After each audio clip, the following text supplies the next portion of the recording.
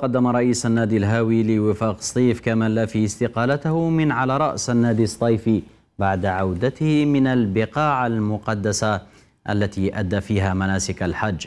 وسيتم عقد جمعية عامة استثنائية من أجل انتخاب رئيس جديد وإعادة النظر في مجلس الإدارة الحالي.